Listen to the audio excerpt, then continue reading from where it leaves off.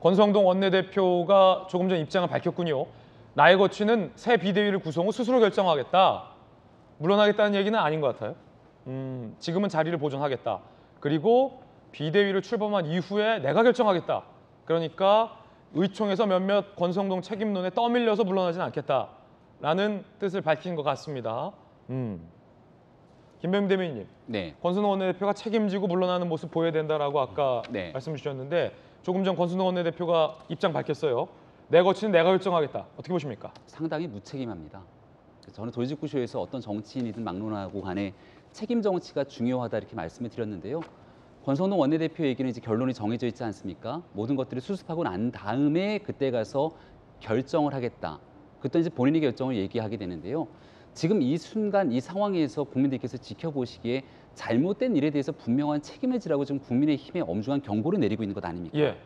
재판부의 판단 결과 가처분 신청에 대한 판단이기 때문에 받아들이거나 납득하기 어려운 지점들이 분명히 있습니다.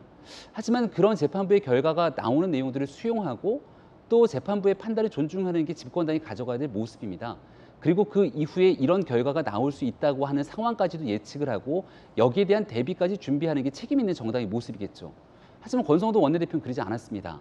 그리고 여기에 대해서 지금 현재 새로운 비대위를 구성하면 모든 것들이 다 정리될 것처럼 얘기를 하고 있습니다만 지금 권성동 원내대표의 리더십에 대해서 의구심을 갖고 있는 당원들과 국민들의 목소리가 조금이라도 들리신다면 이 같은 판단할 수 없을 거라고 생각합니다. 저도 선거 과정부터 권성동 원내대표와 아, 국민 캠프를 처음 출범할 예. 때부터 가까이 지내면서 뭐 많은 의견들을 주고받고 했던 아, 그런 인연들이 있기 때문에 얘기를 쏟아내는 것이 굉장히 썩 아, 불편할 수도 있는 상황이겠습니다만은 지금은 이런 사적인 인연이나 관계에 따라서 이야기를 할 수 있는 상황이 아니라 국민의 힘이 초비상 위기 상황이라면 권성동 원내대표뿐 아니라 그 자리에 있는 누구라도 자기가 갖고 있는 책임을 통감하면서 갖고 있는 모든 걸 내려놓을 준비가 돼 있어야 되거든요.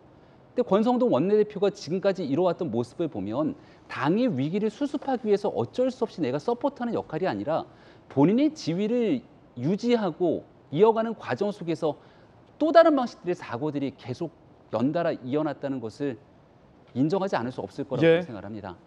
지금 비상대책위원회가 현재 월요일 아침에 진행되고 있는 것 자체로도 모순이다 이렇게 생각되는 분들도 많이 있을 거라 보는데요. 아마 오늘 아침에 내세웠던 권성동 원내대표의 저 같은 발언들이 얼마큼 이어질지 모르겠습니다만은 당에 있는 여러 사람들의 의견을 총체적으로 좀 한번 어, 경청해 봤으면 좋겠습니다. 예. 어, 김병민 전 대변인의 발언이었습니다. 권성동 원내대표 무책임하다라는 어, 돌직구 발언을 본인의 생각을 어, 밝혔습니다.